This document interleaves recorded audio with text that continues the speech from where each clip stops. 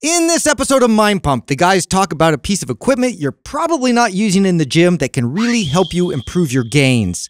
Also, they discuss a toothpaste that can rebuild your teeth, as well as many other topics. In the second half of the episode, they answer four questions from Instagram, such as Hey, I'm having a hard time getting through my MAPS program. Is it the right program for me? And also, what is the difference between discipline and motivation? Discipline increases the amount of times you get motivated. So if you like motivation, one of the best ways to get that feeling of motivation to occur more often is to be disciplined. Finally, if you want short clips from the show, go to our YouTube channel, Mind Pump Clips, and subscribe. All right, here comes the show.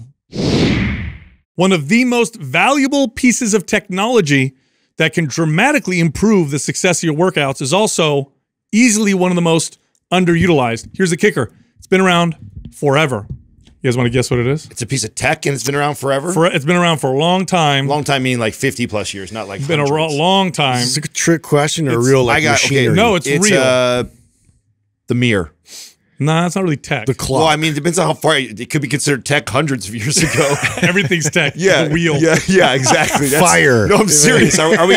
Are we going 50 plus years, 100 plus years? No, no, no, no. How, how about uh, just let's go in our careers. all right. It was used before that, but on our careers. Oh, okay, so okay, that's not. Here, that. I'll give you a clue. You guys have figured out. We trainers used them all the time when we were trainers. You always had one of these on you when you train clients.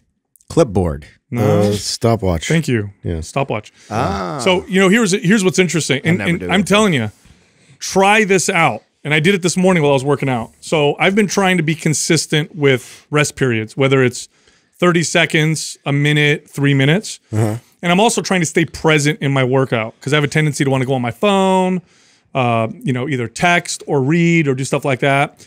And I notice when I'm present in the workout, I have much better workouts. And I also notice when I can pay attention to the to the rest periods, I either a if it's a long rest period, sometimes I'll rest too short. So if I if I know I'm doing a strength cycle, I'm doing three minutes. Sometimes I'll probably rest two minutes or a minute and a half because I feel like I'm ready. Or especially if I'm doing a 30 second rest, I think I rested 30 seconds. It was more like a minute or a minute and a half. So I brought my stopwatch today and I said, I'm going to do 30 second rests in between sets. I'm going light. I'm trying to go for a pump. And that stopwatch of hit it, watch the time, 30 seconds, do my set, hit it, watch the time. I'm so hmm. present in the workout and my sets are consistently 30 seconds apart. And I can see the value of this for people who have trouble resting enough time. Like we've all had those clients where it's like, no, we're going to rest two minutes in between sets. And they're like, what do I do in between? Do I do jumping jacks? Do I? it's like, no, no, you got to rest. Let your, Sounds like it's good for people with ADD. it's good for, uh, and Like a lot of people have this ADD. this used to be um, this used to be my favorite hack when I would get a client who was um, had been training for an extended period of time, right? So years of experience already, and they're hiring me because they they were in a plateau. One of my favorite things to do is to just assess. Uh, we we talk a lot about this, and we just talked recently on a show about how people identify um, with like a, a, a, type of you know modality, right? So you're the are you the circuit training person? Are you the CrossFit person? Are you the you know power lifter, the bodybuilder? And typically, when you identify with that that type of a person, the way you lift, you also tend to keep the rest periods like that all the time. Yep. So, and then my favorite thing to do to show them quick was quick results would be to take them on the opposite extreme. So, if I got the you know soccer mom who loves all the circuit classes and there's like no rest periods, it's like nonstop lifting, like the body pump type of classes, the Orange Theories. I love to take her through a powerlifting cycle where I'm making her rest for three minutes. Yeah. And how hard is it for her? so hard. If you didn't have a stopwatch, if she didn't have a stopwatch, Yeah. would she even rest three minutes? No, no, and then you also have to you, you have to teach them how to like lift heavier because they're so used to lifting Sure. light w- lightweight all the time. And then the, the opposite is true, right? I get somebody who is a power lifter and just loves to lift super heavy, but then now wants to change body composition, wants to get leaner, and you know has been training consistently for a long time. Again, assess their their their training. Oh, look, they rest three minutes plus all the time. Put them on a thirty second rest period and be consistent with it, and watch how their body changes. It's one easy of, hack. It's one of the best uh, factors within programming that you can change. It's very simple. That changes the whole workout. Why? Well, uh, let me break it down. Number one, obviously, changing rest periods changes how your body adapts, uh, changes the focus of the exercise, changes the feel. You know, you either get more strength, stamina, or you get more just grinding strength, you get a better pump, whatever, whatever, right? But besides that, shortening or lengthening rest periods also changes how you do the exercise and the amount of weight that you use. Oh yeah. Like today, I was doing 30 second rests. And to give you guys some examples, so I go do an incline barbell press, which if I'm doing my my heavy work sets, I'm going anywhere between, I don't know, around 225 is probably what I'm going to stick to, low reps, right? Like five reps, something like that. Today, I'm like, I'm going to do 30 second rests in between. 135 is what I had to work with because with that 30 second, after I did, like, once I got to the fourth or fifth set, like 30 seconds was a good rest period. And I was getting good, uh, you know, my reps weren't super high at that particular point, right? So the shortening of the rest periods forced me to go lighter, forced me to feel the muscle, forced me to focus on the pump. The long rest periods is the opposite. All of a sudden, with the, like those clients that you're talking about, Adam, the ones that just are so used to circuits, so used to HIIT training, when I'd have them rest longer, they couldn't. They, they had to readjust the weight, Yeah. because they had to use more. I weight. mean, I'd, I'd say that that's the biggest challenge of this tip. And I think why so many people don't do it is because it it also messes with their their their weight. Yeah. like what they choose to put on the bar, right? And what it, okay, if I and we're, again we're just we're picking on a specific avatar, but there's plenty of people that fit in these categories. So you know, the soccer mom, mm-hmm. w- one of the greatest challenges aside from getting her to rest longer would be also to convince her she can do more. Yes. Like, you can do more. I promise you. I'm watching your form. I'm watching how you're moving this way. We can do so. That's also that part, and vice versa. The meathead guy who loves, you know, bench pressing 275 plus, and now all of a sudden he's going to put 135 on the bar. Yeah. It's a mental fuck on both sides, and so it's not just oh let's switch your rest periods because what I would see when you would tell someone that is they do it and they never stick with it because it messes with their ego because they're so used to training also a weight a certain way that they would they would abandon the tip. So you have to you have to stick with it. It's phenomenal. Literally, in a stopwatch, I bought one on Amazon for like less than 10 bucks. I mean, they're cheap. And I got it in the mail yesterday. And so I brought it to work. And literally, it's what you do. You say, okay, uh, today's workout, I'm going to go for uh, 60 second rest in between sets, which, by the way, 30 to 60 seconds is faster than you think.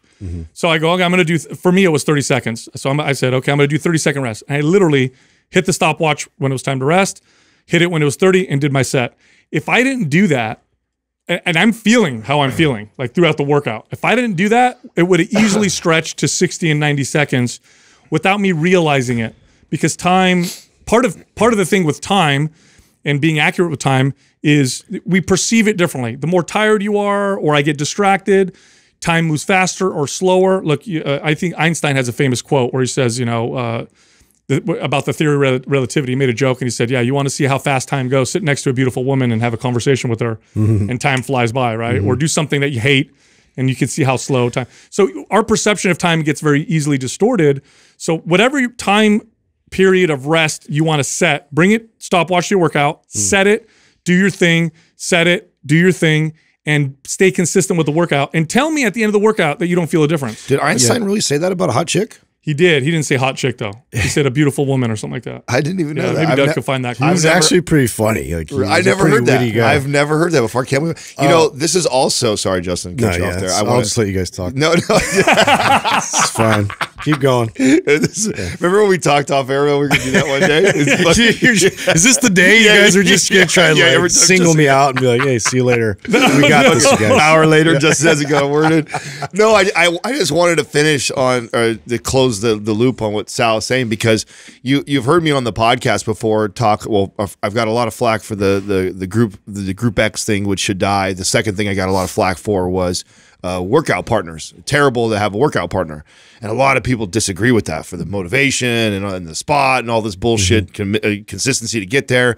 But this is one of the reasons why I didn't like a workout partner and why I think they can be they can be detrimental to a lot of people is because when you have somebody else, it's really difficult to do the time thing. Have you ever tried to do a time thing with them? You can't. The only way Three, it works, you're gonna do three minute rest. That's right, and, and the only way it works is if you're both like on the in the same rest period in that that phase of your training during that month or whatever like that, and it, and it, and you Maybe don't circuit talk training, and you don't what it is. talk and you just Yeah. take turns Yeah. and then that matches the time. It's like, but like who does that? Anybody who works out with someone bullshits in between, gets distracted. It's like you're not sticking to your programming that way, which is this is a, another one of the main reasons why I never liked to workout partners because I did manipulate this this, and I do know what a big difference it makes when you're consistent with it and you stick Yeah. to it. Yeah, I haven't messed. So the stop clock, I mean, that makes perfect sense for rest periods. Uh, the cool part is now that they have those gym digital clocks that have the second hand. So Oh. I, I tend to use that for rest periods, but also too, if you have one, you know, available to to look and refer to that when you're doing isometric holds. I'll Oh, do yeah. 15 to 30 second holds and like just re- real dialed in on that instead of just trying to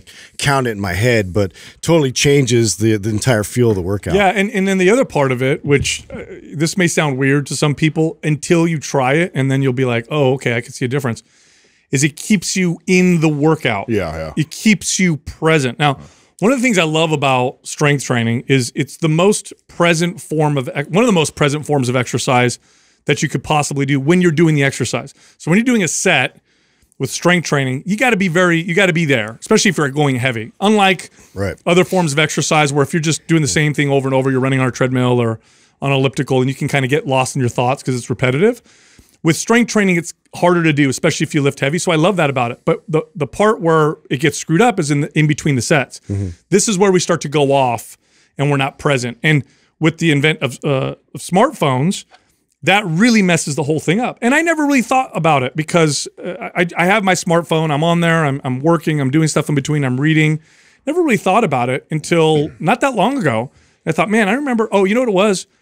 I was watching old bodybuilding videos and I as I'm watching them, I realized something like there, there's no music in the gym when they're working out. Like back in the day when Arnold used to work out in the 70s, they didn't mm. play music. That wasn't until like Yeah, a you little hear- later. It's like the '90s. Yeah, you hear they, like the they, all you hear was, yeah. yeah, they're just people are just they're I'm, just I'm good with music. they're just they're just I'm not saying I'm against music. Yeah. But they're just training. I remember thinking like, man, they had nothing but the workout. Like how present they must have had to be. And, Yeah, as I'm watching the very video, focused, and as yeah. I'm watching it, because I'm watching in the background, because I love old exercise equipment, so I'd pause the video and I'm looking at it. I'm like, man, look at all that old equipment, and I'm like, nobody's talking to each other. Yeah. They're all just trained. They're all super present. I'm like, you know, I used to do that when I'd work out. It, there wasn't anything for me to focus on other than my workout. Um, so let me try that. So I did it where, with my phone where I, I put it in my pocket and I'm like, I'm not touching it. Made a huge difference. Stopwatch does it to another level because I'm literally there. Either I'm focused on the rest or I'm focused on the lift. And I mean that 45 minute to hour workout is like so present, and you're and that's going to reflect on your on the psychology around the workouts and how you feel. Oh boy, we're back. Here's the giveaway for today MAPS Powerlift. This is a powerlifter program. Get you strong on the bench press, the deadlift, and the squat, and you can get it for free. Here's how you can win.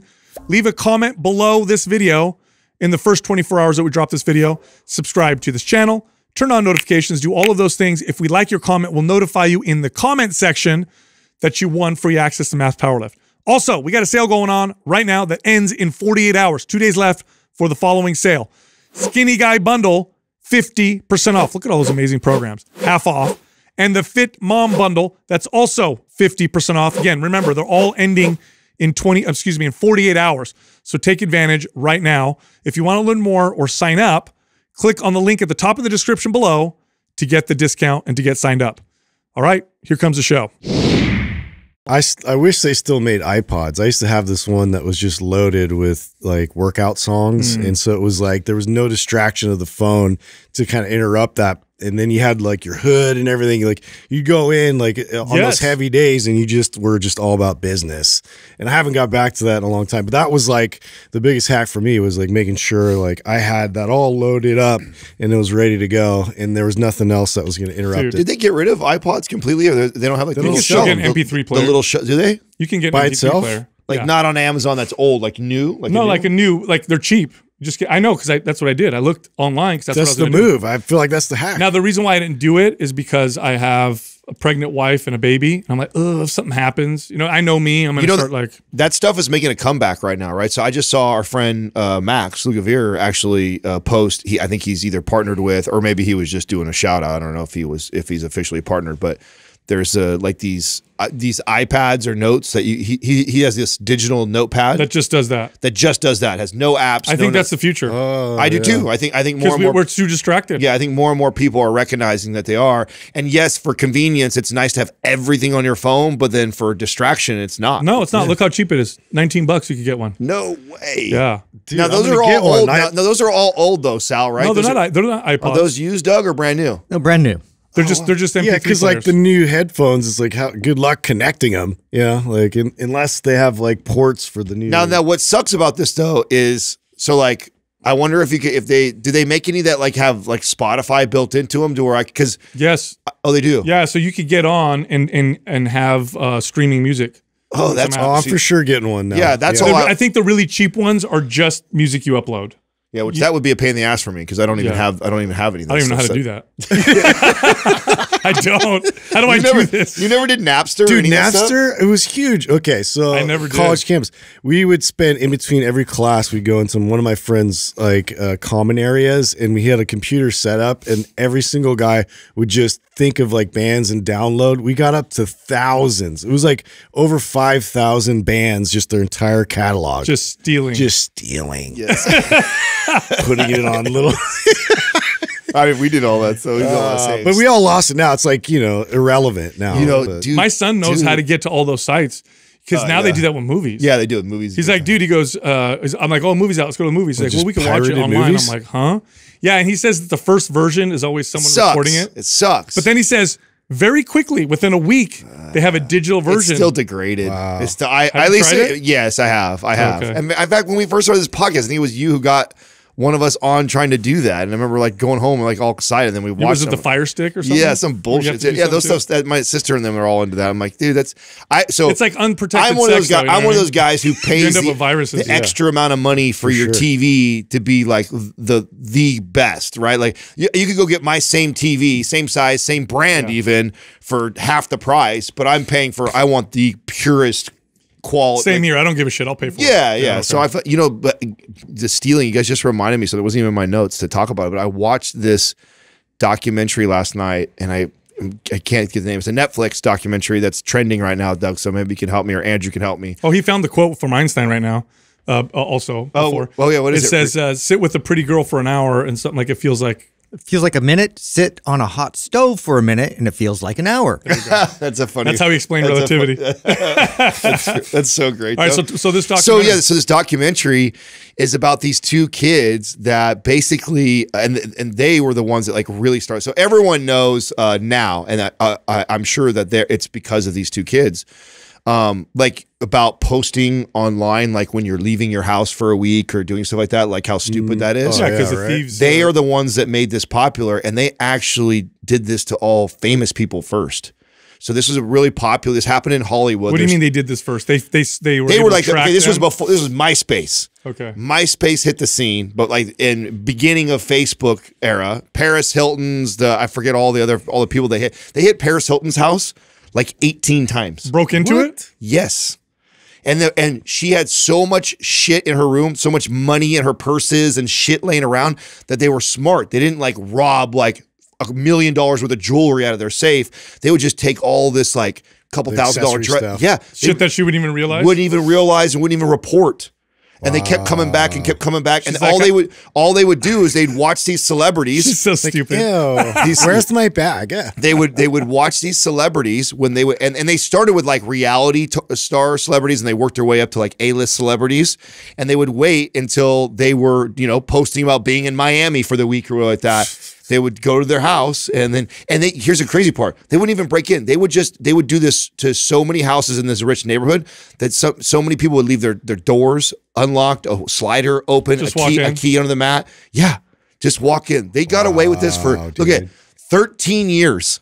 What's it called? The, Wow. the Bling ring. Bling ring. Yes, bling ring. Yeah. She's like, Fascinating I thought I had seven thousand dollars.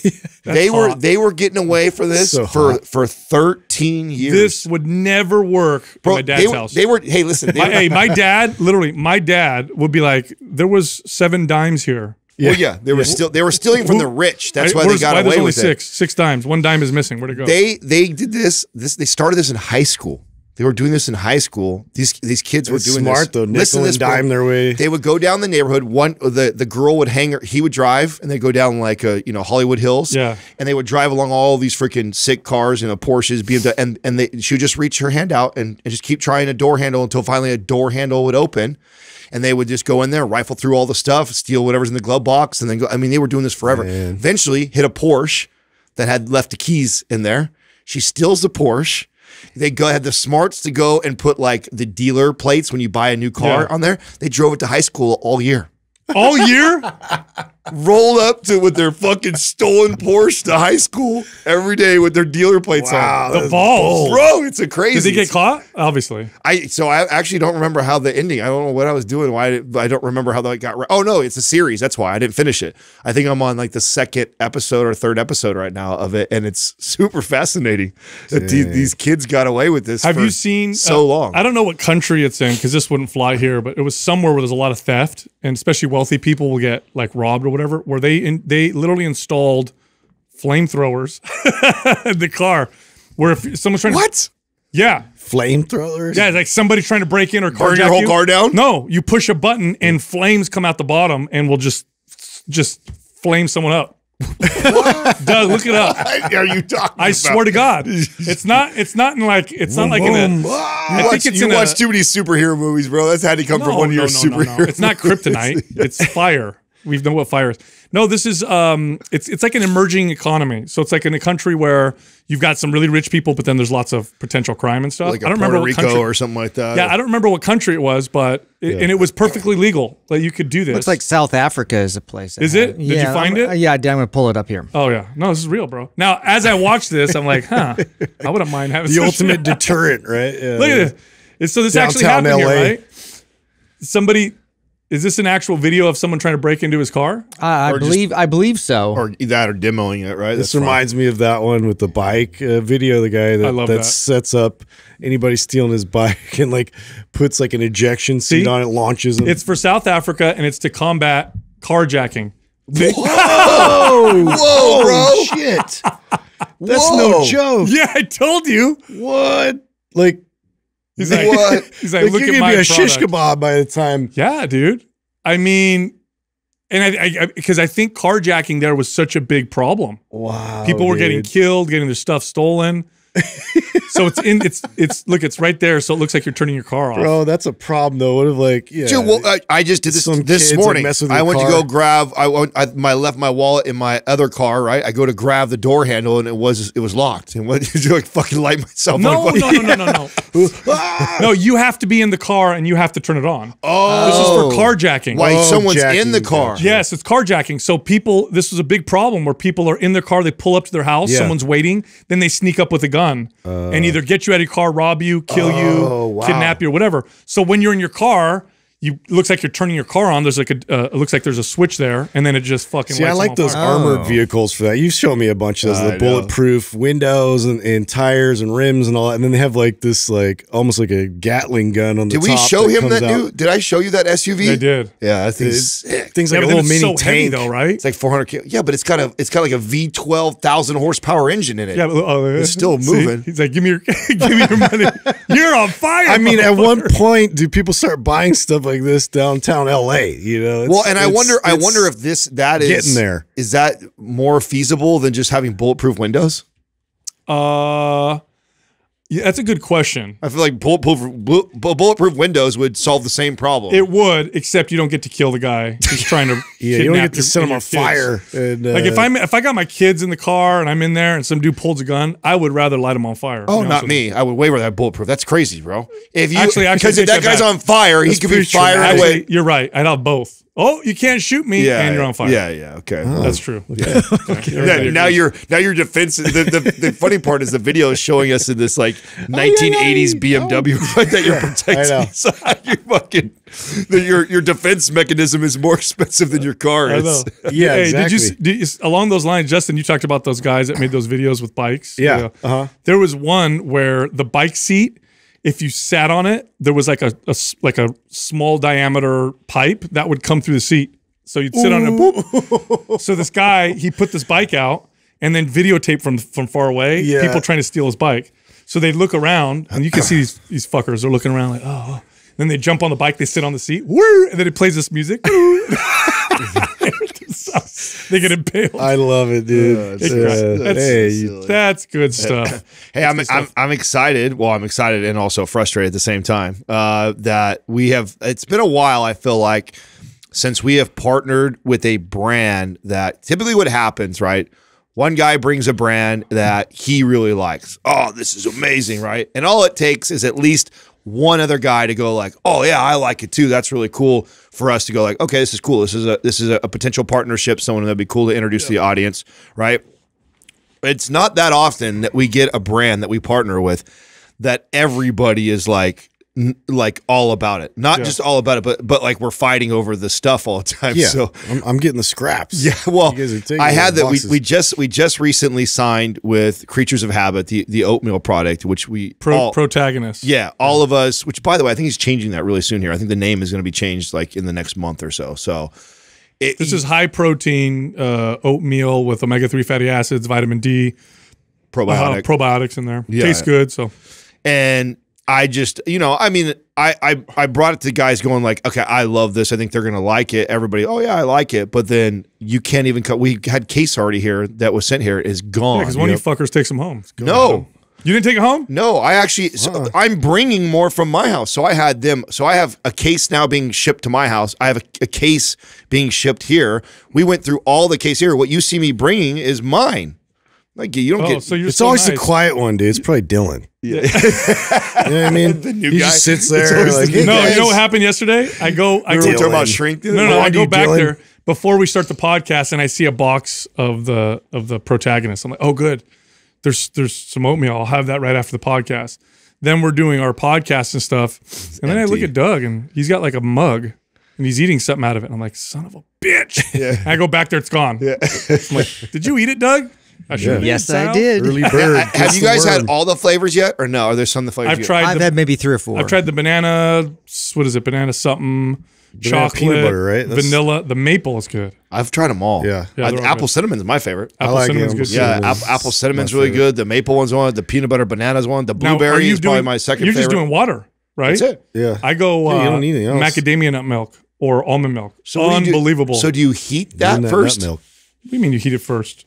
You're mixing with the macadamia nut milk. Yeah. So are you heating the milk? Yeah, I put it in there and I microwave it. Oh, okay. Yeah. Yeah. no, okay. Oh. We get Reddit cookbook for Adam. Step one, You're page one: how to make ice cubes.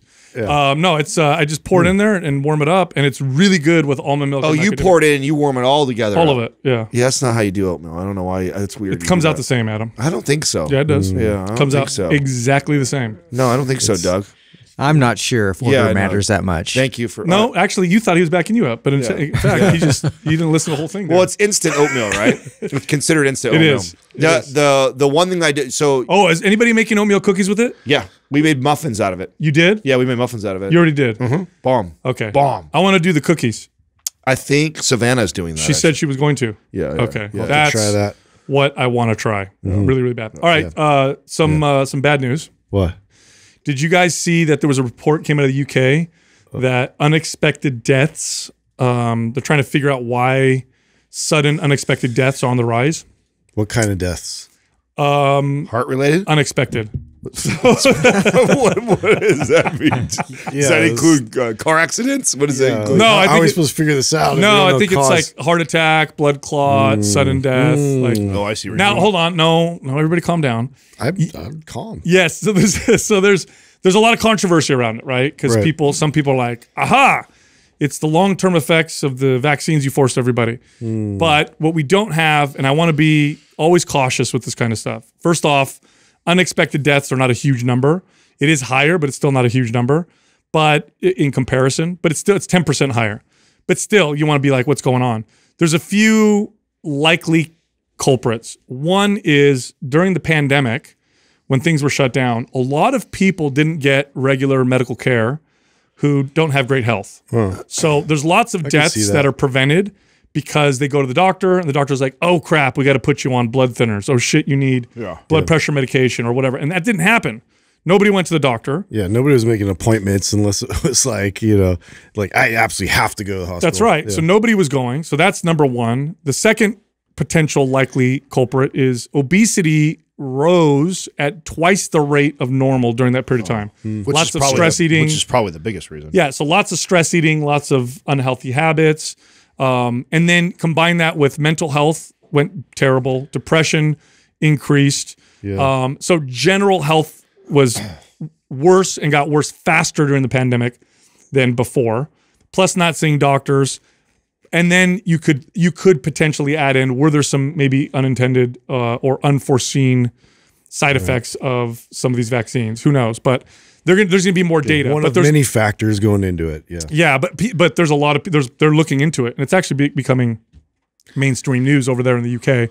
Um, I'm interested in seeing what that looks like in other places. Yeah. If we're seeing similar, you know, trends here in, in, in the US. Isn't it going to be so hard though to like pinpoint that? to someone? Correct. It's going to be like impossible. And there's, I mean, there's other things too. Like I, I, you know what I think what had to been like had to been so bad for people was was it last year? The last year, year before when we had all those crazy fires.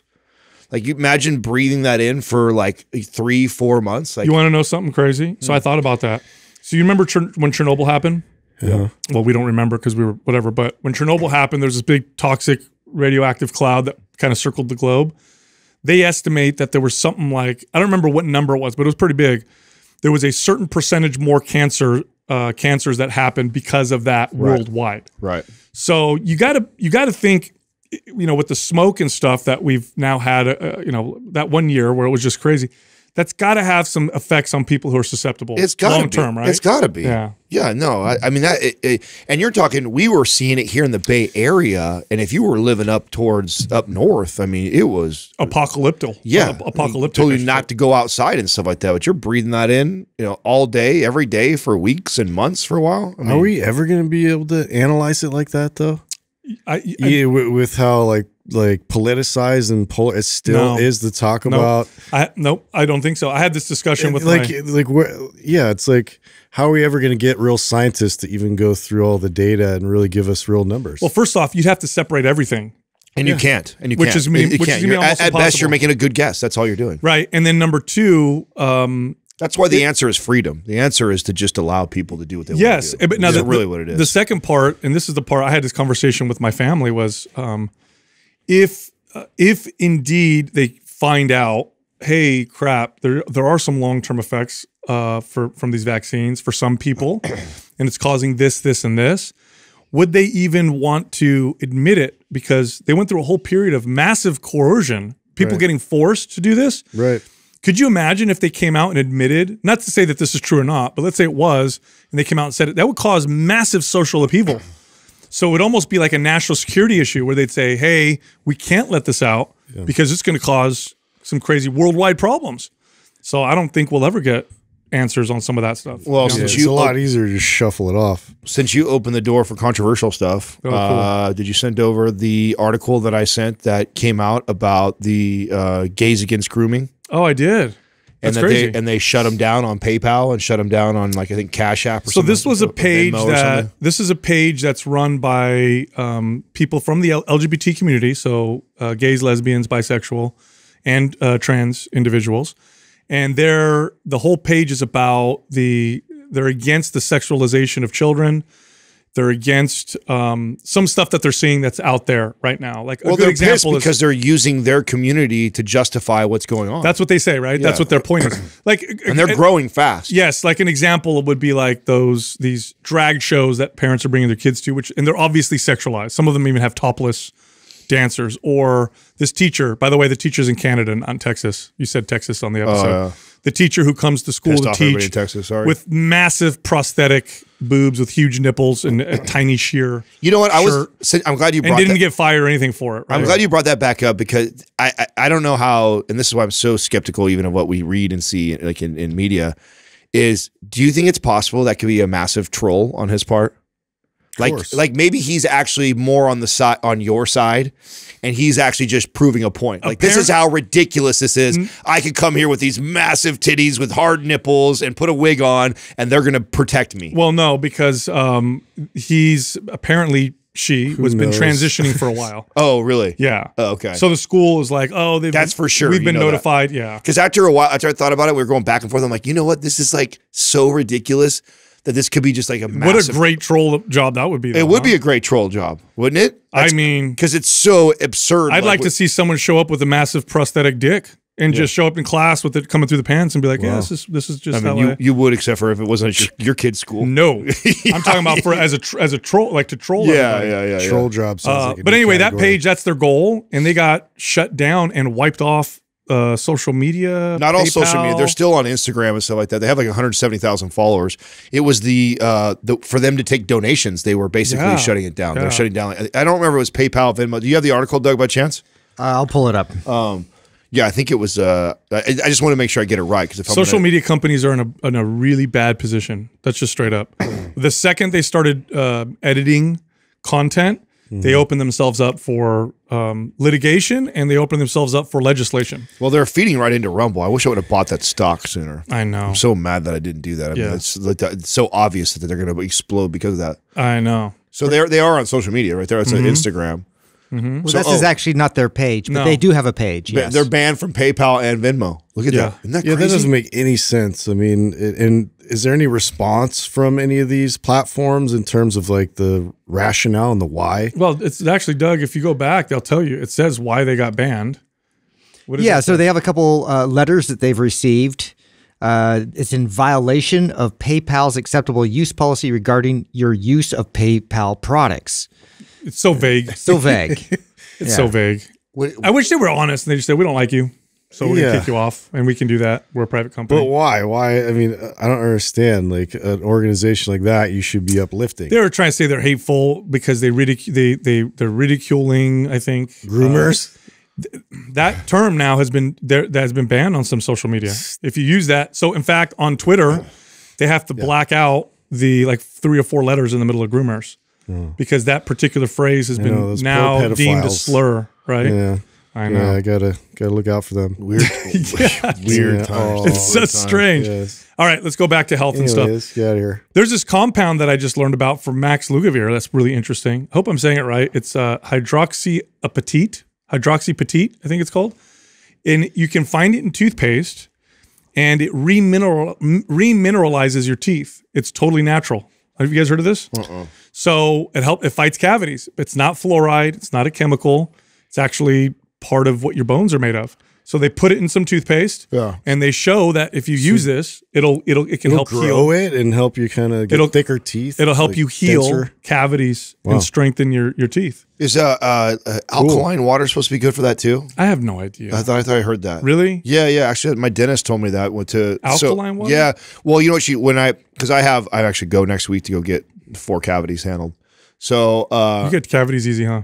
No, this is I've never had a cavity. I've never had to do anything in my life.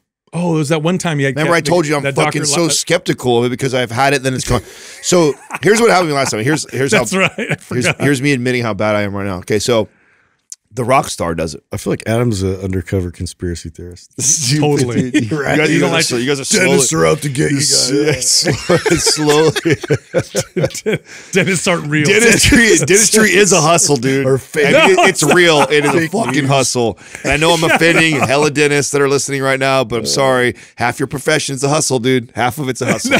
so sorry. Wow. I know you're saving some lives and some mouths. 100 percent you're I'm needed. gonna get okay, my friend on the phone. but let's dude. be do honest. this. Half of it's hustle, dude. Here's so I because you got one bad guy. That's why. no, that's not true. It's not just one. This has happened to me multiple times where I, I go in, I'm told, I've, I've been told before I had like 12, when I was younger, I was told I had like 12 cavities. My family couldn't afford to fucking fix that. So they're just like, deal with it, right? Wait, wait, wait, your, mom, your mom's. Hey, we're gonna have to give you soft food. From now on. Rub, rub some tussin on it. It was like 12 cavities. Oh my God. We're, How we're- what's, we're- what's the price of a fixed one? yeah, it's, Which what do one's the do? worst? Half of that. You know, what kind of payment plan do you guys have? So so payment plan. I, I didn't I, we didn't fix anything. We didn't do anything. Years go by, right? Uh, see another dentist like four years later, like that. Oh, you no cavities. I have no cavities all of a sudden, right? So from having twelve to having none, right? Uh, same thing happens when I get into my twenties. Get into my twenties. Actually, have a dentist who uh, she's uh, I train her, and she's asked me how long you've been. I, I'm already skeptical, and I'm like, oh, I should probably go. So I go get a cleaning and She's like, "Oh, you ha- I have a few cavities, right? Like, oh, you have a few cavities. Like, what are?" And she's at me. Now, what was great was she's a client of mine, a friend. She was asking me about my diet and stuff, mm-hmm. and I'm telling her all the things I do. And at that time, I was drinking like two rock stars a day, and she's like, "Oh yeah." She goes, "That's that's eating away at the enamel on your teeth." She mm-hmm. goes, "You you really should stop that." I go, "Really?" And I'm like, "Okay." So before I decide to go do the cavities, I go, you know, let me first see because it was starting to hurt. That's actually what that was the first time actually like my teeth hurt, like it hurt, and that's why I went in, right? So then I go, okay, I'm going to cut it out. So I cut out the rock stars, cut them out, and it took about, I want to say like six months. The pain went away completely, and then like it, it- I think I waited a few more months before I went in and saw her again. Cavities are gone again. Well, cavities can, you know, they can heal. Right. Yeah. That's part of the, the. They don't fucking tell. Most dentists don't tell you. They don't Yeah. go like, "Hey, if you change your diet and stop this or this, like you may not, you may Well, not that's need." it. because nobody does that, bro. It's like it's like a doctor telling client, "Oh, your blood pressure's high." Oh, do not defend them in this right Really? now, bro. No, I mean because they, they don't do that. It's just like my psoriasis with the freaking with them with the, the same thing. They don't ask me about. I was asking them probably them questions. Is there something I could do in my diet? Could I be lacking something? Oh no, no. Here's the steroid. Here's the cream. It's Yeah. like they don't even want to address the the root cause of it. They just want to give you the medication wonder- and the prescription. The same thing goes with the dentist. I they wonder have an issue like that, they're not asking me about my diet. Yeah, but I wonder if if that wasn't uh, common knowledge to them at that point. I think it might be. What? I'm not 90, bro. That's only freaking a few years ago. What are you talking about? How long ago was it? Well, the first time, the very No, first, no, no. The last time that you went with the female, your, your Uh, client. Um. Well, it's been twelve years now. Okay. Yeah, twelve years. I don't so. know. That's a good question. Hmm. I, you know what? I will back you up because I do know. Um, I, I did have a client that was an oral surgeon, and he always told me if it, if dentist dentist ever tells you you need something, come see me and I'll confirm if it's Yeah, if, it- if it wasn't for me having the client, I would have never learned this. yeah. Like I just, I thought it was a mystery, like how do like the cavities come and go like that. And then she was the first person to ask me about my diet because she's, I'm teaching her about diet, Yeah. and she's so she's like quizzing me mm. back, like, well, what are you eating or what are you drinking? You know, it's all about the microbiome in your mouth. Yeah. That's well, that's why you will or won't get cavities. which is also oh, back to the original thing with the alkaline water. So It's a the big test of your health. too. she would tell me if you're going to continue to do them, then what you need to do as soon as you're done is to rinse your mouth with alkaline water. Oh. and she goes, and and regular water wouldn't do the trick. So I needed alkaline water to kind of rinse to rinse the the teeth off. To, Have so- you heard of that? Uh, uh, there's this. I don't know if he's an oral surgeon or not, but he's like basically applying this technique where you press your tongue up to the roof of your mouth and like you can like slowly manipulate.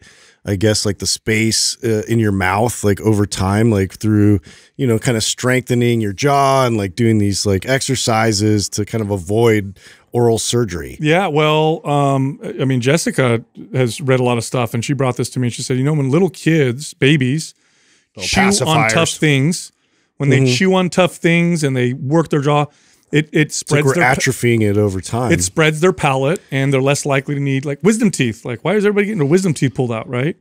Um, so that's kind of what she told me. But Yeah, you- it's- it's it's uh, Katrina's family did this. They had it for Max. You give them a piece of leather and they just they just chew on the leather. Really? Yeah, like a, just a, a leather strap, a leather strap, and let him chew on it. We had he's he used to do it. Um, I and also things that fuck it up are like pacifiers. yeah, Yeah, yeah. The the pacifier will mess it will mess up that. Will end up getting like an overbite from sucking on it for too long. Yeah, because it, too. it'll it'll it changes the palate. Did Mm-hmm. you guys know? I learned this from Max, Max Lugavere also.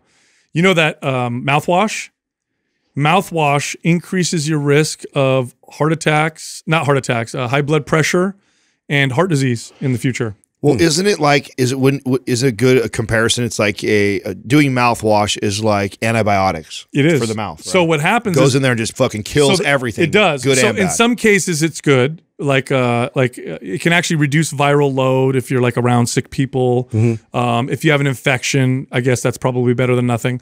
But using it regularly, it destroys the bacteria in your mouth, which are responsible for producing what are called nitrites. And these nitrites, they help produce nitric oxide. So they did a study where people use mouthwash post workout yeah.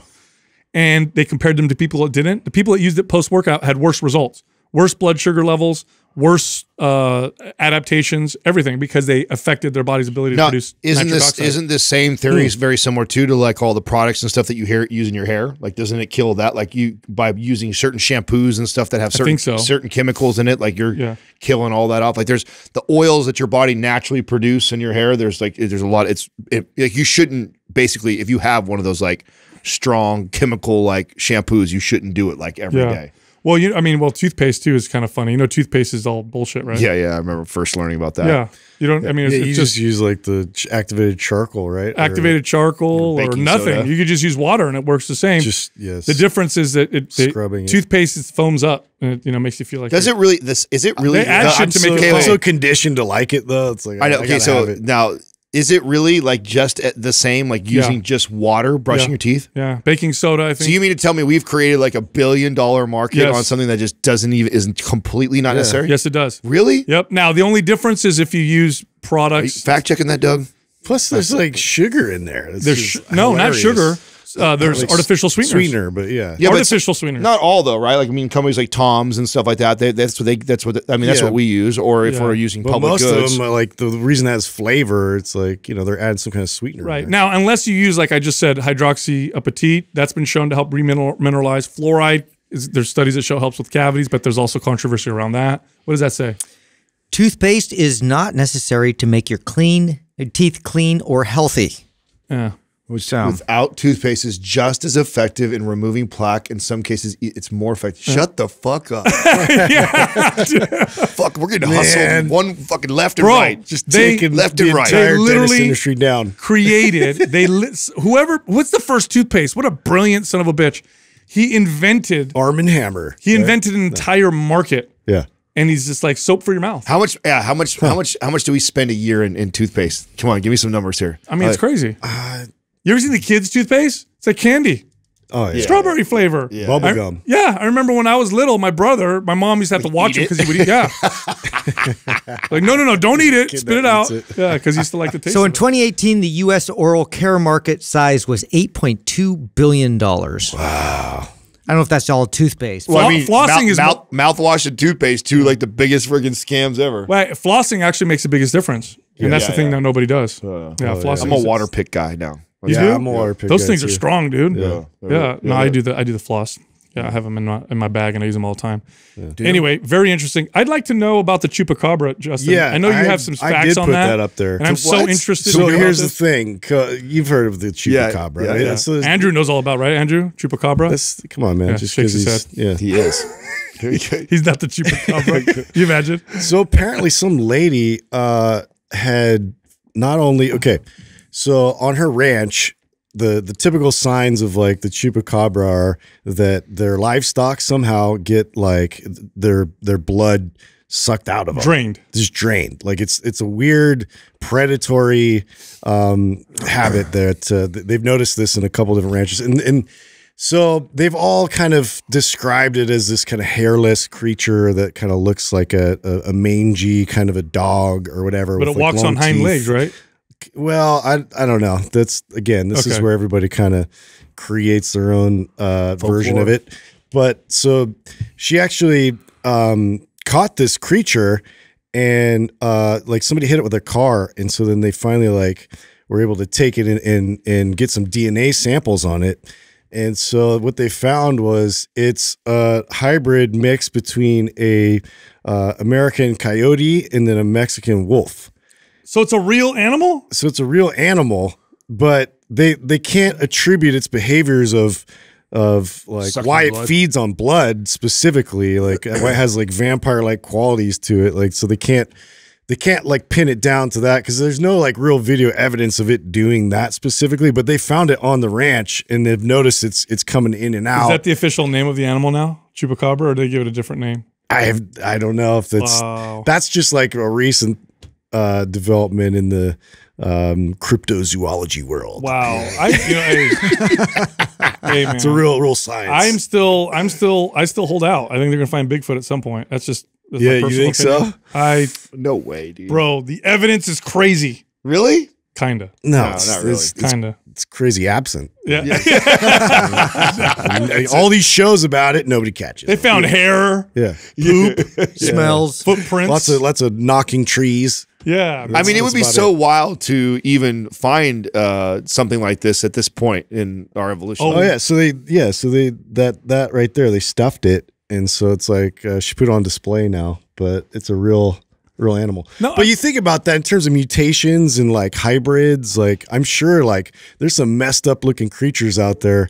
Um, uh, and they were going further. I was like, I was like reading about this, like how I don't know they they were talking about scientists were talking about in terms of like what they actually think is still out there that we've never even discovered. It's like it's it's a, a lot. Like the percentage is really high of uh, creatures they think are still you know in parts of the world that haven't been explored. Well, Yeah, don't we one- don't we learn like every day a certain amount? Yes. like, Yeah. new right? Yeah, there was one. I think it was a Tasmanian something that we thought was extinct.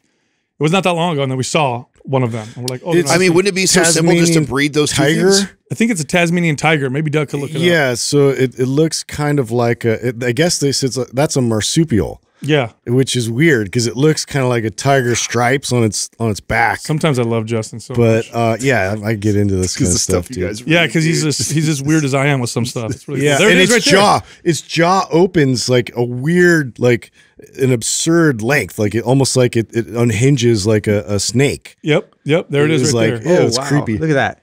Look at that thing. Yeah. Oh yeah, look, look, how at the big its jaw opens. Look at that. It'll bite you right in the butt. that is wild. It's a trip, man. Hey, uh, so I got a cool, I got something that's really interesting article. I just, uh, I just read this morning. So this is this is actually kind of fascinating. So you guys familiar with these? What do they call the 4D ultrasounds they do on on babies now? yeah, yeah. They look all weird. What's yeah. the fourth dimension? I mean, that's what they call it, right? But uh, you, did you get one? Did they have them when you had your boys? Um, we just had it was like a 3D. I don't know if it was the 4D. Where you can like see their face and what it looks like?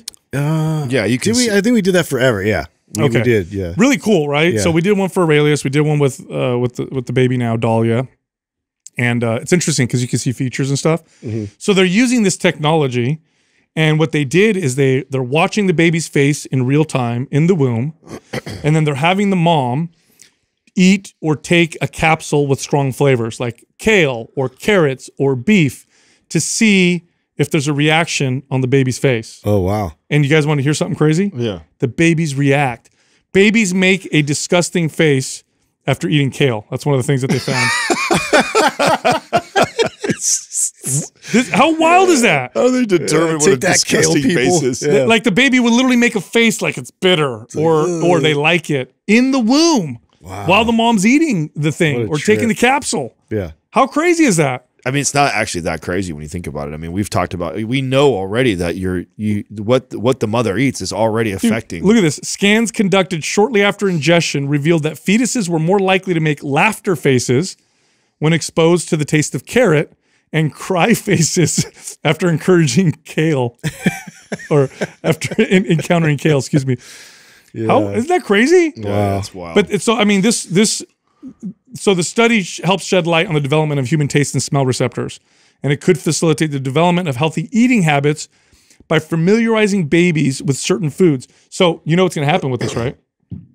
Now, logically, you would think, well, mom's going to eat healthy then when she's pregnant, so that the baby can develop tastes for healthy foods. Mm-hmm. But of course, that would take too much work, and and you know they're not going to do that. So what do you think is going to happen? pills. Correct. Wow. There's going to be a whole market for capsules. Supplements. Yes, where mom is going to be like, "All right, honey, time for your kale, time for your whatever," and just take the capsules to kind of get the baby. Oh man, that'd be funny if they could have like that monitor like as you're doing that real time and see that.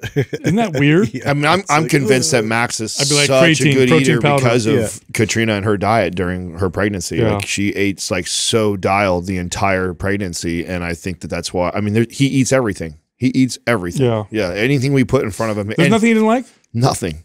There's nothing that kid does not like. He'll, Really? Yeah, he'll eat. Uh, you know. I take that back. Uh, I knew there was e- something. eggs. Eggs don't sit well with him. Oh, weird. Yeah. Oh, do they bother his gut? Yeah, yeah, yeah. So he, Oh. get, he he he would get like uh, red blotches on his face. and so- Interesting. yeah. So Did we, you try just yolks?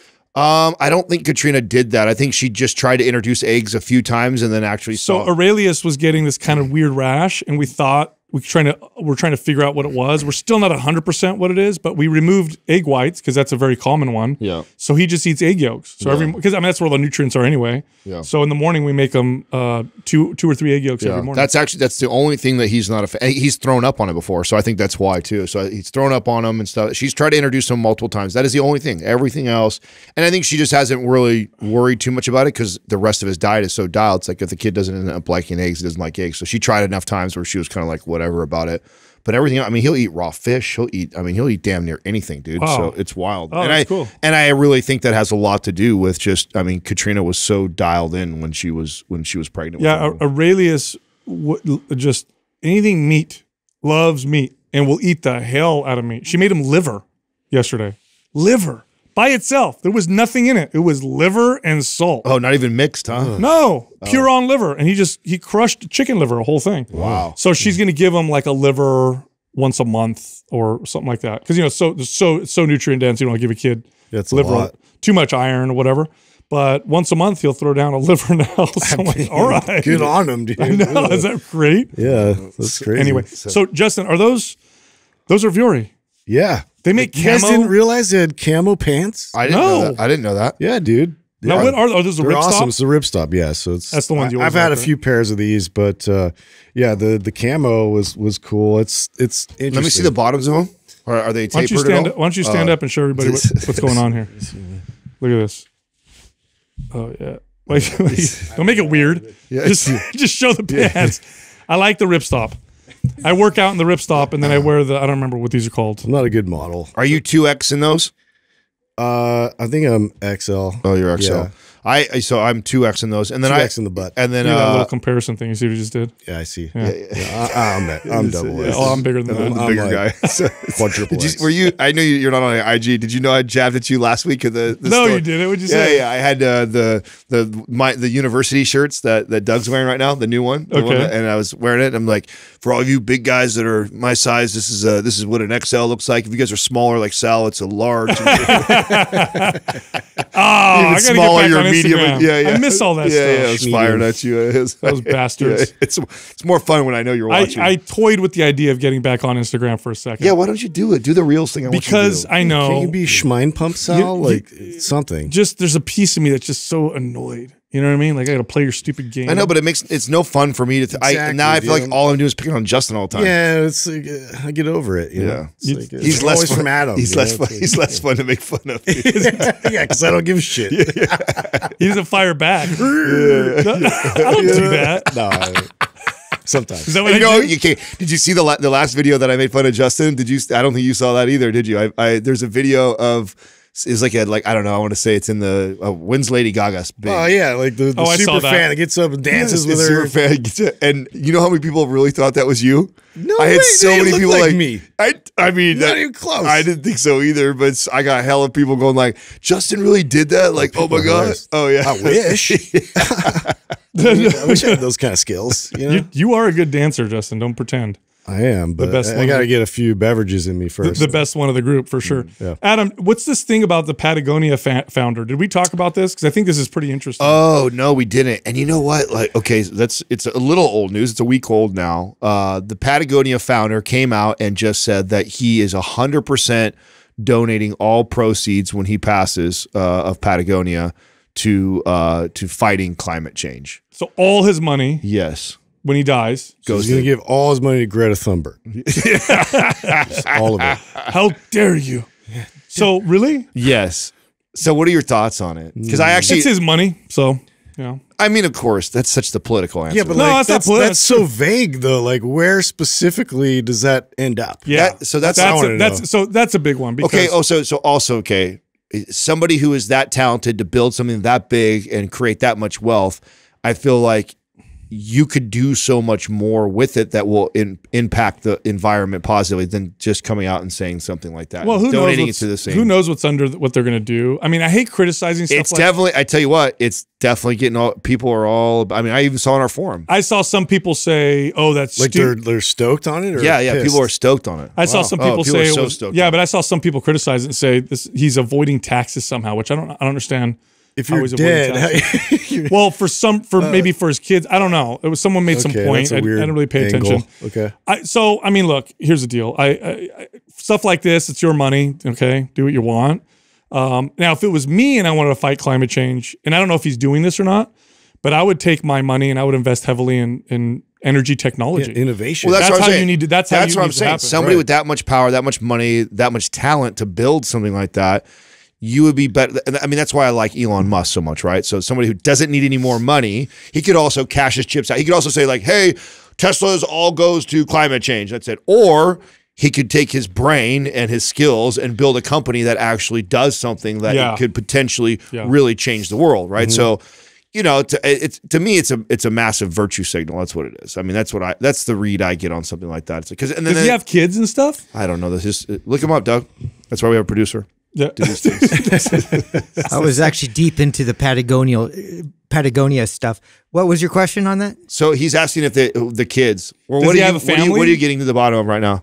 Oh well, I mean, one of the things I'd heard too is Patagonia's clothing is largely a lot of petroleum-based products. So I, I heard that too. So I thought that was an interesting thing. I was just doing some research on that. So his kids, yeah, I do believe he has children. So that's the irony too. I heard that same thing that Doug just said. Is that um, so? It's like you you have this largely based petroleum based like clothing line. Like how about you do a different clothing line? That's So actually, this this could be a good. This actually start could spark a good conversation. Um, let's say you guys had a billion dollars when you died. yeah.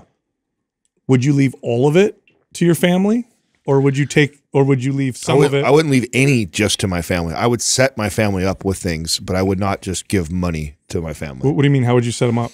like either through like other through other businesses right so I ideally even what we're building right now right like my son would hopefully you know manage the real estate portfolio and be and like have to be in the business working it Yeah. scaling it growing it like he wouldn't just get and like he he would get the proceeds of while he's alive and uh, from it but he couldn't just go take i wouldn't i would set it up like a trust to where he couldn't go and just sell it and just walk away Yeah. freaking with you know 100 million dollars and then like no way there's no way i would do that I get torn. Like I think to myself, like how would because I almost feel like that could ruin their ability to like to care for themselves and to find. I don't know. Yeah. Meaning well, it depends. If you I do don't know, if you do a good job, I feel like as a as as fathers of raising them on on some of the principles of hard work and and and finding their way and all. And yeah, here's the reality. I, I forget the stats on this, but it's actually unfortunately unlikely that my son will even want to do any of the things that Yeah. That are are ours. So, and that's kind of it. Is like I I, ho- I hope I can provide an opportunity and and good lessons why he's raising that he has an opportunity to step in the family business and take it to the next level or do more mm-hmm. with it. But I'm also not going to not be supportive of him if he's like. Ah, Dad, I want to do my own thing. Like that's you, you Yeah. know, like that's Yeah. your legacy or that's your thing you build and stuff like that. I would that. respect that. Yeah, I would respect that too. Yeah, I don't So- know. Yeah, it's interesting because was it Warren Buffett? Like he doesn't. Uh, Yeah, his kids don't get like nothing. They I mean, they, they get like some kind of safety. Is that what it net, is? I Like a million? I think they get a million. It's each. like a safety net. Yeah, and I kind of like that in terms of like them being able to find their own purpose and their own clear path.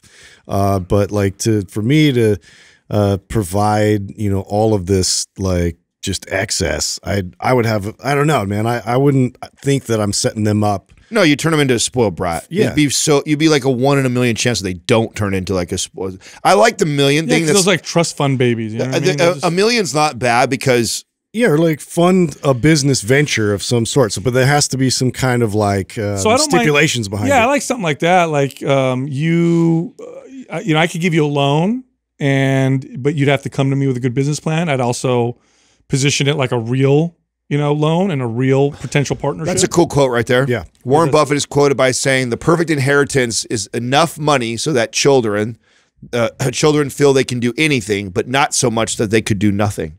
That's Oh, wow. brilliant. I love that. That's why I said Perfect. I was just getting ready to say a million Yeah. is a good number because Yeah. a million is you're, you're not living off of a million dollars for the rest of your life no, at all. but it's enough to start a business, and it's, also to- enough to potentially wipe out any student loans, get you out of any sort of like Yeah. debt. Also, put down a nice down payment on a really nice house, or pay a house off completely. Mm-hmm. So at least you're like you are safe and you're starting Yeah. with a good head start, but you're not set. You know what I'm saying? So I like that. I mean, I could see myself doing something like that where I leave a, a, a piece of money like that to where I'm giving them a head start, but I'm not. I'm not setting them up so much that they literally could do nothing. You know. Interesting. Yeah, yeah. It'd be like one of those like movies where the, the guy dies and then he he leaves like riddles and shit for their kids to get there. Well, isn't there another stat that's out there for like the how how many generations it takes to like squander wealth like that? And how how do you have you heard that Doug before? Like, I've heard that. like by like the third generation they say. Yeah. they get rid of it. Yeah, so it's like our sons will will have been a part of seeing what we've done and built, and so they tend to carry it on a little bit. But the Yeah. third generation is so disconnected from grandpa that they don't they don't they don't value it the same way, and they tend to spoil it and, and fuck it off and just destroy it or whatever. I, I I can't remember what I read.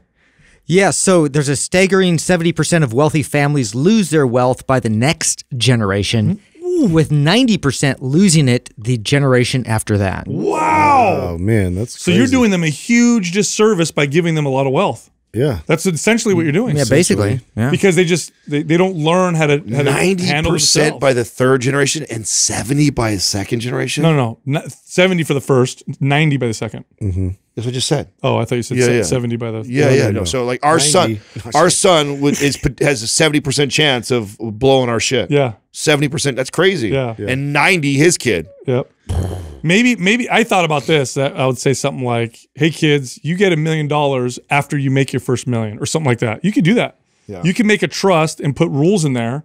They'll say you get this money after you do this or this, so you could kind of prove yourself. Yeah, the only problem with that is though then you then you you're basically telling them they have to go into entrepreneurship. Like, what if your kid ends up wanting to be a you know artist or a teacher or something that's, That's never going to make that kind They of don't money? get the money. They never get the money. That's a, you found that money's not important. Well, the That's other okay. thing, the other thing is is a cool way would be to just provide, which I think probably a lot of really wealthy people do, is just provide the shelter, right? So like they inherit a sick house. It's like you just get a house, you know. You, you get you get your house. Your house is. F- I don't know. I go back and forth on this, you know, on Why? what I would do because I don't want to. I don't, I don't want, uh, you know, my family to be to to just not find that meaning, not build anything themselves, to not get that the value of that. Uh, but at the, of course, at the same time, is this really strong desire to take care of my family. Right? That's that's a wh- inside, you know, struggle. So I go back and forth on what that would look like. I, I think the the secret, and I really like. Remember when we in, interviewed Ben Greenfield, and he, you know, t- they had like the the family. Uh, yeah, the legacy sort of Yeah. yeah, I think. I think that's so. And if you're gonna if you're gonna be that small five percent that make it three, four, five generations, I think that there's got to be someone in the family as a leader. I really want to be this in my family, right? I really want to be the person in my family that kind of sets this going forward. Mm-hmm. That like you're proud of your last, you're very proud to be a Schafer. This is what Schafers do. We we we act like this. We have integrity. We work hard. We don't it's all it, defined. it's very defined. it yeah, like it's really like the, I got the, a lot the, of the, that the too. people that I've met that are uh, that are from families like this are the ones that I see that have this generational success is because somebody in the family has created this for Yeah. their family Yeah. and it gets passed down and there's tremendous pride in that name Dude, and, I hear- and carrying that and that carrying that legacy I hear stories from I have uh, my aunt. She does uh,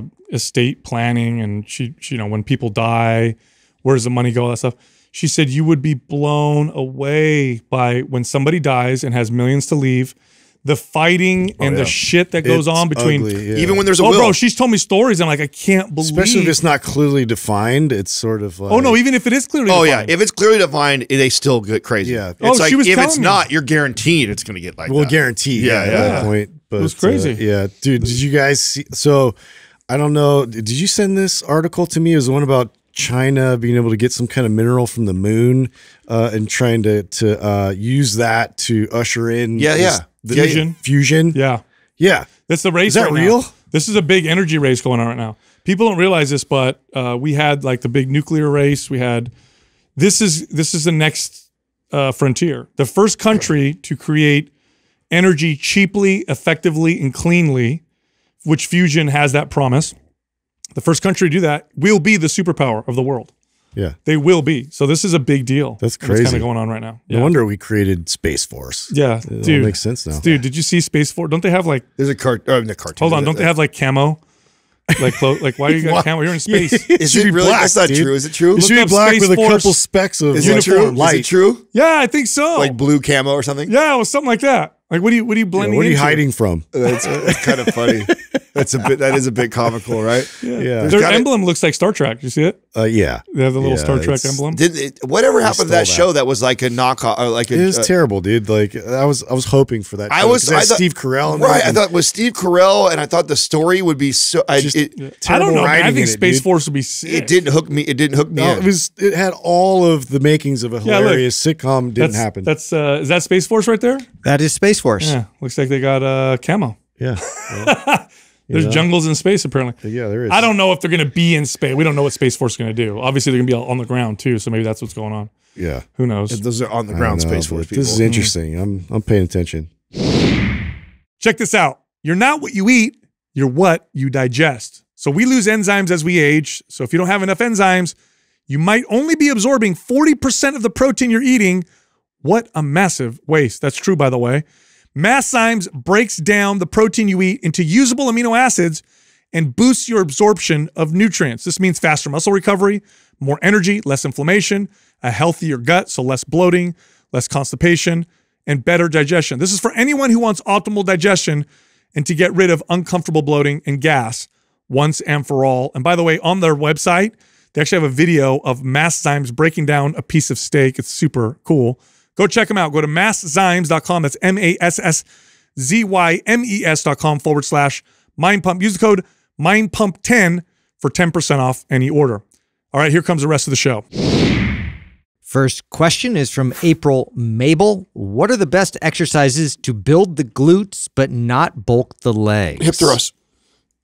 Next question. The end. I mean, really? I mean, That's I- that's the. I mean, Well, all so- the all the rest. Okay, and good mornings. Yeah, I think you got to go. Okay, so when people say bulk the legs, they're usually talking about the quads. I almost, I don't think I've ever encountered, and this is probably a female. Um, I've almost never encountered. I don't think I ever have encountered a woman that her said my hamstrings- hamstrings are getting too Good point. Good too point. built. So all deadlifts would be in there too. Yeah, so deadlifts, stiff-legged deadlifts, Romanian. Romanian, stiff-legged, uh, single leg, hip mm-hmm. thrust, like all of those don't really hit the quads. Yeah. They work the posterior chain, the hamstrings, and the glutes.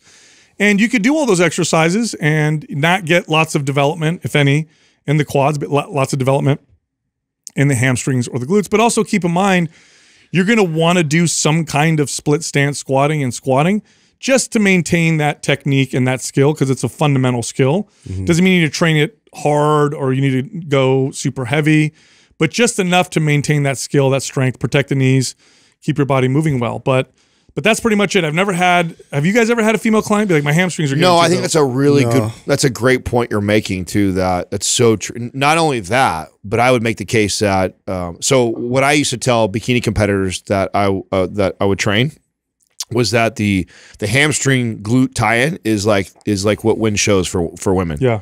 If you and it, a lot of that is just most people have very underdeveloped hamstrings. There's just it's not a lot of people know what to do. Very few people deadlift, and so there's just not a lot of exercises in the gym. And so I think for the most part, hamstrings are neglected in comparison Yeah. to like quad exercises. So um, you're right. I don't I, I don't think I've ever met anybody who has had overdeveloped hamstrings. It's just such a good look to to develop that more anyway. So I mean, I guess that that order for me would be you know traditional deadlifts, sumo deadlifts, and hip thrust, and good mornings. You could rotate those four big movements. and Any posterior hip hinging movement at that point Mm-hmm. that avoids, yeah, like the you know the anterior. so we uh, this was actually a challenge for my ex. She was a competitor um, before Katrina Wright. Uh, she was uh, she had these just crazy dominant legs, and like the, her coach had her completely el- eliminate all loaded barbell, dumbbell, anything for her quads. She what she did do to maintain was she had sprints and she had uh, body weight walking lunges. Mm. So body weight Maybe walking. sled, maybe sled drives too. If you Uh, yeah, interchange sprints. hill sprints with sled drives. Yeah. yeah. So That'd be enough to keep that that Just some stimulus, yeah. yeah that pattern. Although I would do light sled because you could build on sled drives. You I mean, can. You, could Yeah, definitely build on You- sled especially if drives. less demanding, but yeah, especially you if you're can like genetically, you know, you respond very quickly in the quads. But I mean, I th- the thing with running hill sprints and or walking lunges is that's so functional. You know what I'm saying? Like that's uh, like Yeah. in your that that that coordination to do that, the stability component that goes in there, uh, you're getting enough stimulation on the quads that they're you're not going to, and especially if that's a, a muscle you already think is overdeveloped, you're not going to lose much from that, you're, and you're definitely not going to gain a lot of mass doing that. So I think those are uh, really good movements. But Yeah, but I, you know, I will say this too. The just to comment on this, the and it, this definitely can exist, but it's usually not the case. When I've had a female client worry about bulking the legs, it's just because her body fat was was too high, and when she got leaner, she was very happy. Women tend to store body fat in the lower body, right. and in the legs in particular, hips and legs. And once they got lean, they were very happy because developed quads on a woman who's at a healthy body fat percentage looks phenomenal. It's it's a really nice look to the legs as well. It's not like it looks bad, but if you store body fat and you've got muscle, um, you can definitely feel like you're too big. Um, you're too bottom heavy, or my quads are looking too big. So She probably just feels a little out, out of balance. Yeah, Yeah. the women that I know that didn't like this, and and I mean, I mean, it's usually not the case that their quads are actually too big. is Well, y- you know, I mean, that's not, I, I don't know- Usually. I don't know if I agree with that. I mean, I think that there's a lot of women that are very quad dominant, and they and when they do things like squatting and stuff like that, they the quads are just blowing up, and then they have kind of a small butt or a flat butt, and then they have these massive legs. I've, I mean, I trained a lot of women that that was their that was their thing was they had a hard time. I mean, that's why but it wasn't that the legs were too big; it was the imbalance. Is what I'm trying to say. the same difference, right? Well, not necessarily. Like you know, people who are like, "Oh my God, it's my my legs are so big." It's like, well, once we balance your body out, that size you already have is fine. It's not that you shrink them. You know, because I think the answer to them is like, I want to make them smaller. Oh, I don't know. I, yeah, I don't think they necessarily want to go smaller per se. I think they just want to reap the benefits of all their squatting and Bulgarian split squats Yeah, and, sure. and all their exercise they're doing into their butt and and see it there and not so much in their Sure. quads. And so I think that's that, or at least that's my experience with training this type of a person. And the movements that we just said uh, is the move you know, is uh, is to pretty much eliminate. Uh, I mean, definitely eliminate all leg pressing, front squats, even barbell back squats, hack squats. Like you don't need none of that stuff. Uh, for just do some body weight, walking lunges, and then the rest is all posterior chain. The rest is deadlifts, sumo deadlifts, Romanian deadlifts, your conventional deadlifts, your good mornings, and your hip thrust. You build your entire lower body routine around that, and you're gonna have some good looking legs, and you're gonna build some glutes. Next question is from Jake Housel one. I have the MAPS aesthetic program. It's great, but I have a hard time getting through all the workouts on foundational days. I get tired and still have three workouts left usually. Do I have the wrong program? So I'm assuming they mean three, exercises. Yeah, exercises. that's Yeah. Yeah. Um, yeah, it's probably wrong for you. Look, if you're doing a if you're doing a program, I don't care if it's our program or another program, and you're like struggling to get through it, not not appropriately struggling. Workouts should be hard, but I mean you're like drug you're drudging yourself through it, and you're starting to feel fried uh, throughout the day from it. You feel exhausted the day after. You're really sore. It's not right for you. It's just too much. And Maps Aesthetic, you know, here's the deal. We wrote Maps Aesthetic. It's a high volume work. It's Volume City. it is too much volume for me often, even. So people need to realize that with Maps Aesthetic. Maps Anabolic is more appropriate for most people. this happens this i see this happening in our community when we have somebody who let's say comes on starts listening to mind pump and maybe has only been listening to the show for a short period of time and then they go looking for a program you know uh, and then they they go to the program that that they go oh they identify with. Oh i Yeah. like i want to sculpt my- person. so i go to aesthetic right? Versus and, and it's not their fault. We don't i don't think we communicate this enough uh, and we don't definitely don't have it on the website. But when we wrote you know anabolic performance and aesthetic they were designed to go in that order That's right. no matter what even if you are a competitor and you want to be and you want to be a physique guy or girl like we I still think you should go through anabolic performance and then move into aesthetic. It, it it's we we designed it to slowly ramp the volume up and to be ready for that when you get into aesthetic. And it's not like uh, doing performance and anabolic is going to hinder your aesthetics. So if you think that you identify with, you know, the aesthetic program, but you've never done any of our programs, I highly recommend you go anabolic performance and then aesthetic. No, I'm going to say this right now. 85% of the people who watch and listen to the show, including fitness enthusiasts, the volume in MAPS Anabolic is appropriate. 20 to 25% aesthetic and split would be appropriate. Okay, everybody else, aesthetic's too much volume. That's just straight up. I followed aesthetic, and uh, when I have everything dialed in and I feel really good, I can get through it and it works. If anything's off for me, and I have a lot of training experience, I've been doing this for a long time, so my body's got pretty damn good recovery compared to the average person. It's too much. It's too much volume.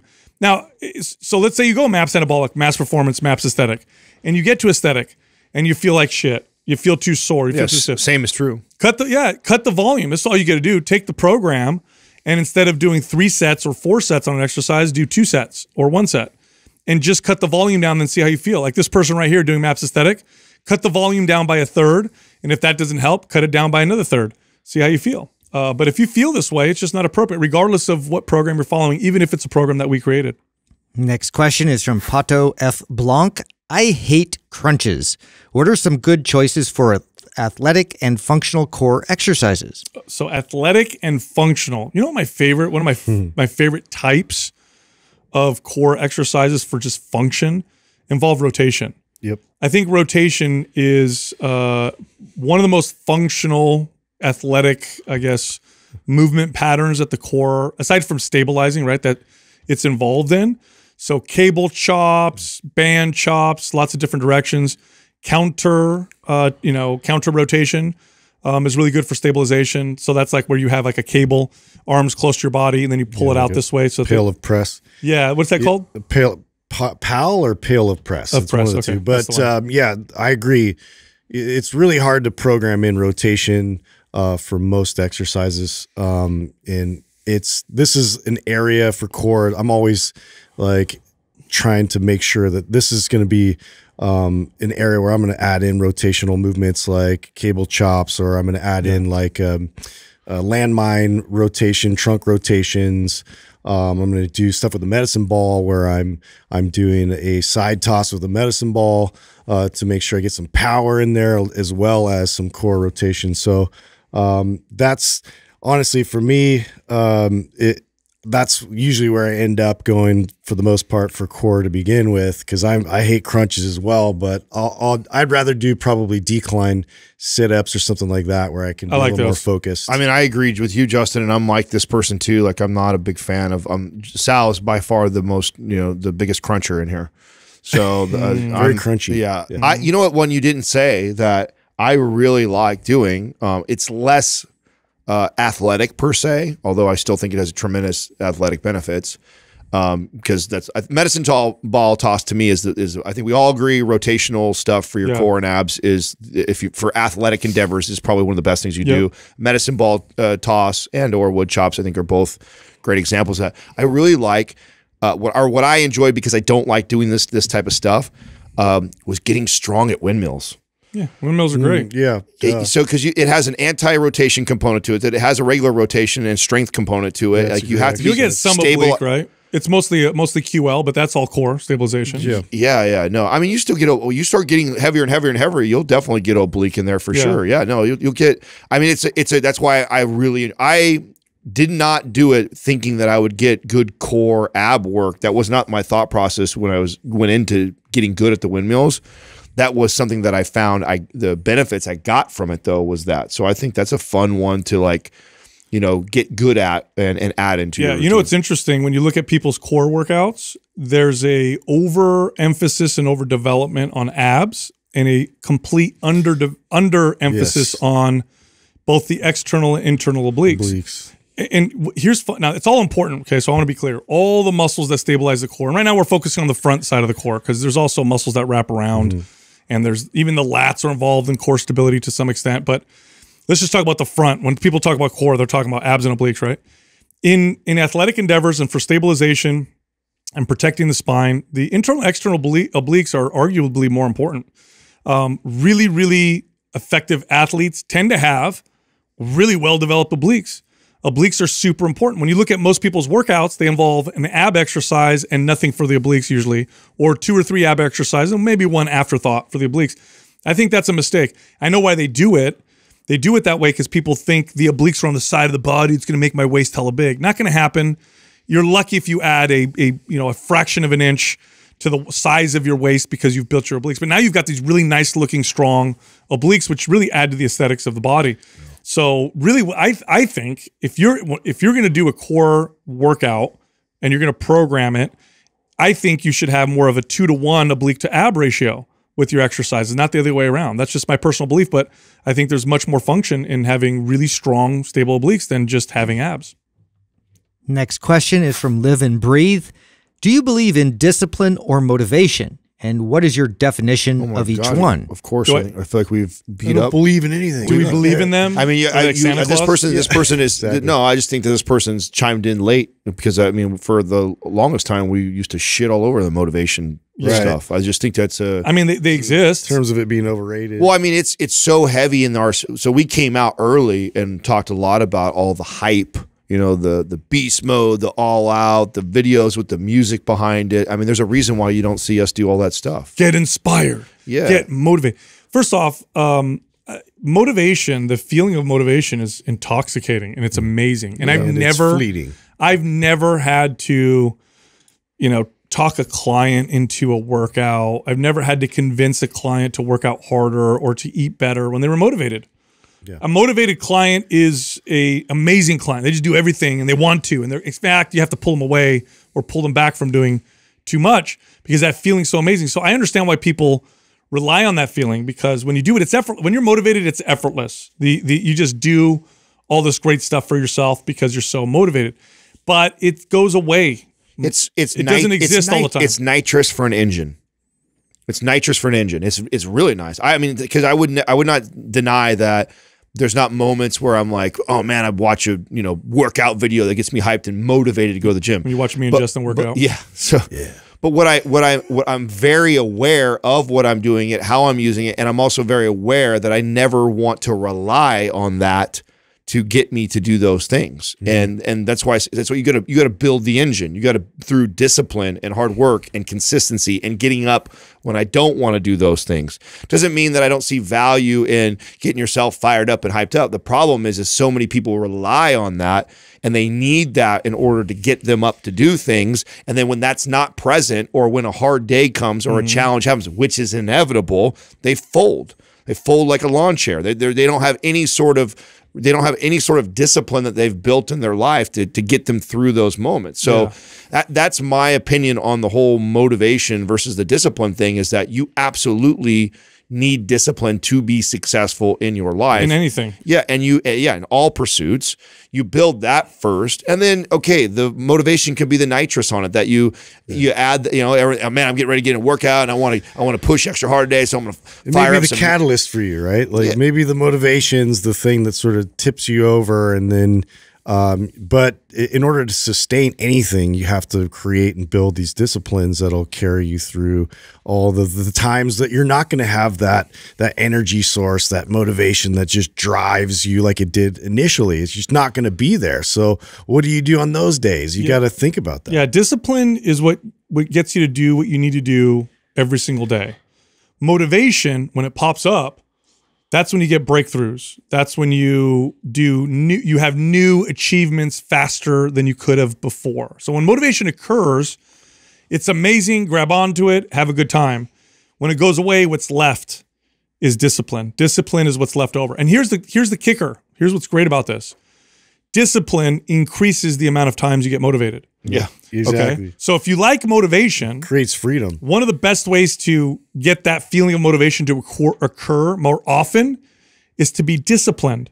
Now, if you just wait for dis- for motivation and you act upon it and you love it and then it goes away and you stop, you're less likely, you're actually less likely to feel those periods of motivation. That's the irony of the whole thing. Well, I like how you said that it's, uh, and I think it's important to, to point it out is the that it's intoxicating, and that's the part I think I don't like. It's one of my favorite. fe- I- I- besides falling in love, can you think of a feeling that is that is more incredible than that extreme feeling of inspiration and motivation? Oh, I'm charged to there's, go. there's nothing better than That's it's why we love those movies, and that's why we all gravitate to why you get the those, chills when you those get- yeah, Instagram pages, and everyone follows them. It's but, I mean, you're you're falling into a trap if you if you use that stuff all the time to try to get Yes. you to do now things. now here now here's where it gets where it gets interesting right? Why is motivation then so why do we revolve around it so much in the fitness health fat loss wellness space? Why is motivation talked about? Why do we advertise to it? Why do we sell products around it? Well here's why. It is easy as hell to sell you something when you're when i get when i make you feel that feeling of motivation that's the bottom line if i get somebody who's wants to lose 40 pounds and then whatever something happens they get that spark of inspiration that spark of motivation and then they walk into my gym and i can sense it and i can feel it man i could sell you anything i can make you buy all the fi- uh, a five year membership, supplements, personal training, you know, access to all the gyms, all that stuff. I could do that.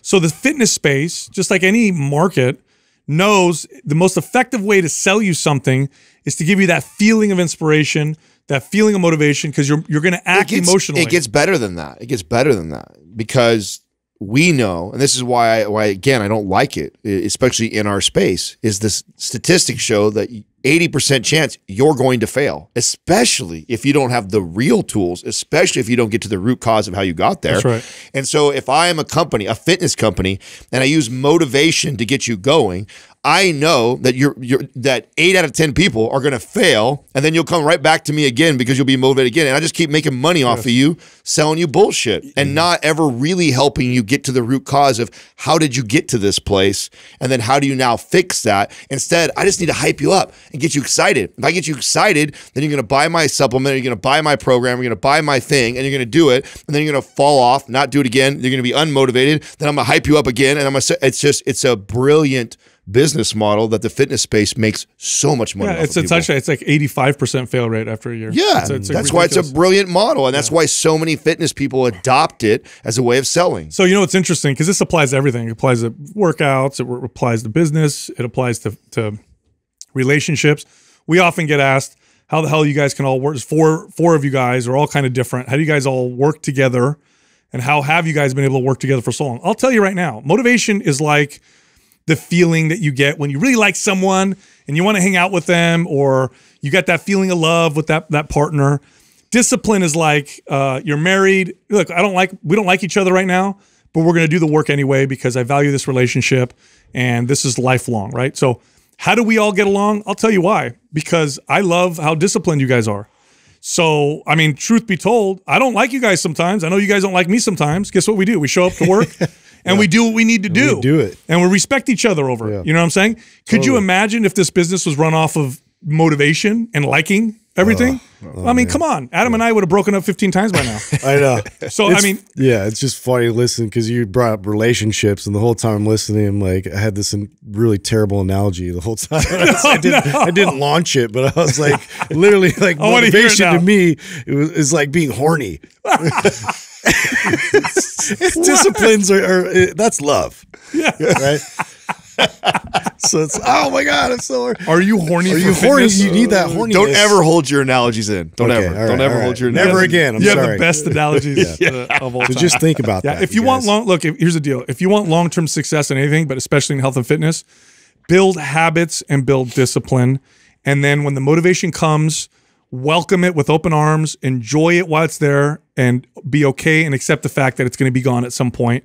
But what's left with you is a skill of discipline that nobody could take away from you. So stick with that. Motivation is bullshit. Self belief is everything. That's it. Look, if you love the show, head over to mindpumpfree.com and check out our free stuff. We made a lot of free guides for uh, all of our listeners that can help them with all kinds of fitness and health goals. You can also find all of us on social media. So Justin is on Instagram at mindpumpjustin. Adam is on Instagram at mindpumpadam, and you can find me on Twitter at mindpumpsal. This one's really important, and that is to phase your training. If somebody trains for a full year doing a bench press and they're always aiming for five reps, if you compared that person to a person who did bench press where they did three or four weeks of five reps, but then they did three or four weeks of 12 reps, and then three or four weeks of, let's say, 15 to 20 reps, and then they'll throw in some supersets. At the end of that year, you're going to see more consistent progress from the person who's moving in and out and less injury.